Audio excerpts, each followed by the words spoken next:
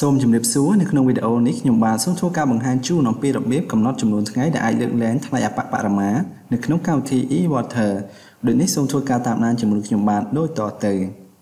បាទជាឧទាហរណ៍ខ្ញុំបាទមានតម្លៃលក្ខខណ្ឌគឺទៅលើថ្លៃអបបរមាបាទឧទាហរណ៍ពី0ទៅដល់1នេះគឺយើងគុណតម្លៃ1000រៀលក៏ប៉ុន្តែយើង tick បាទថ្លៃអបបរមារបស់យើងគឺយើងយកទៅប្រាក់ចំនួន2000រៀលបាទអញ្ចឹងបើសិនជាអ្នកទាំងអស់គ្នា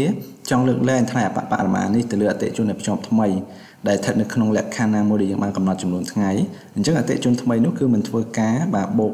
ចំនួនថ្លៃអបបរមា ទៅលើវិក័យប័ត្ររបស់អតិជនថ្មីនោះឡើយបាទក៏ប៉ុន្តែបើសិនជាអតិជនចាស់គឺយើងចេញតម្លៃអបបរមានេះធម្មតា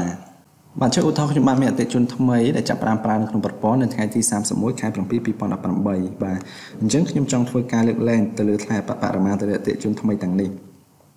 បើសិនជាគាត់ប្រើនៅក្នុងលក្ខខណ្ឌពី0ទៅដល់1របស់ខ្ញុំបាទ អញ្ចឹងបើសិនជាខ្ញុំចង់ធ្វើការកំណត់គឺខ្ញុំចូលមកកន្លែងនេះបាទយើងធ្វើការកំណត់ឧទាហរណ៍ខ្ញុំដាក់10ថ្ងៃអញ្ចឹងបើយើងគិតពីថ្ងៃ31យើងបូកបន្ថែមចំនួន10ថ្ងៃបើសិនជាអតិថិជនថ្មីនេះមិនទាន់លើសលក្ខខណ្ឌ10ថ្ងៃរបស់យើងទេ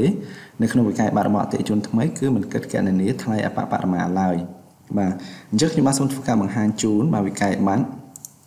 បាទអញ្ចឹងឧទាហរណ៍អតិជនមួយនេះគឺជាអតិជនចាស់បាទប៉ុន្តែគាត់ប្រើអស់បរិមាណគឺ0បាទអញ្ចឹងតម្លៃឯកតារបស់យើងគឺគុណនឹង1000រៀលក៏ប៉ុន្តែថ្លៃអបបរិមាណរបស់យើងគឺយើងយកចំនួន2000រៀលបាទក៏ប៉ុន្តែបើសិនជាយើងលើកលែងទៅលើអតិជនថ្មីនោះបាទបើយើងក៏លេខមកមើលវិក័យបាទរបស់អតិជនថ្មី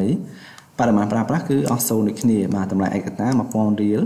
ក៏ប៉ុន្តែតម្លៃអបបរមារបស់យើងគឺយើងលើកលែងទៅលើអតិជនថ្មីនោះអញ្ចឹងនៅលើវិក័យប័ត្ររបស់អតិជនថ្មីគឺมันបង្ហាញតម្លៃអបបរមាដែលយើងបានកំណត់នោះឡើយបាទបានន័យថាយើងលើកលែងទៅលើអតិជនដែលយើងភ្ជាប់ថ្មីនៅក្នុងលក្ខខណ្ឌដែលយើងបានកំណត់ចំនួនថ្ងៃ